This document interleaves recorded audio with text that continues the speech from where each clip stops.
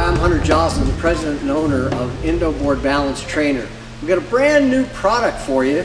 We've taken a 36 inch foam roller, and that's 36 inches right there, cut it up and made a very specific Indoboard product.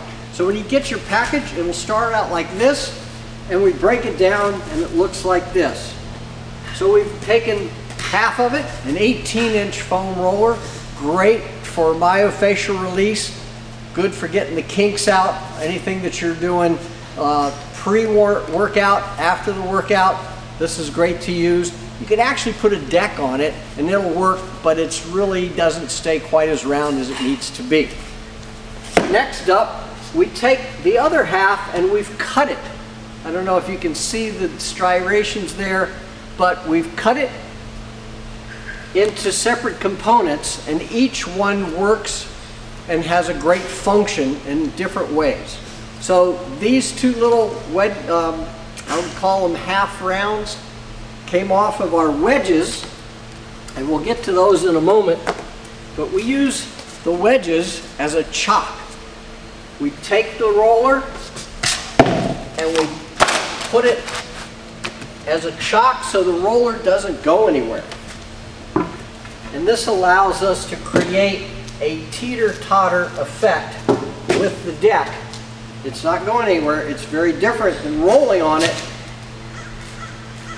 And it becomes kind of like training wheels because as I move, they spread apart and you start to be able to become accustomed to the roller. But the chocks, the wedges, are great for learning how to use the roller and it's a different form of balance when the chocks are in tight.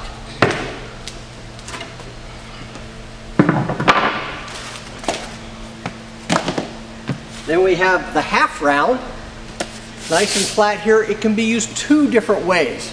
We can either put it this way or this way. Let's start with this one. And again, we're just getting a very basic side-to-side -side balance exercise. So we've toned down the action of the roller and made it a little more approachable for average human beings. We know the learning curve on the roller can be somewhat difficult, but in a gym setting, this is a great product. And we have Arthur Hsu, who will be joining me here in just a moment. Arthur, come on in here. Arthur's going to explain the technical aspects. This guy's a seasoned veteran. He's in the gym every day using these products on a regular basis.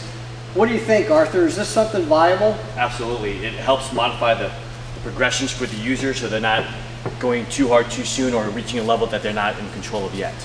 Great. Okay, so we're going to go on to the next little function here.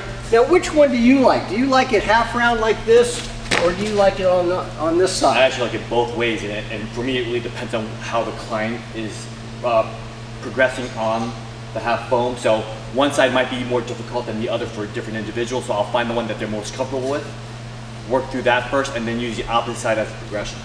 Awesome. All right, so we're going to look at this little action. It's really similar. It, it doesn't change very much from a teeter-totter type of action. And actually, I'm, I'm feeling this is a little easier than when it's on the flat side.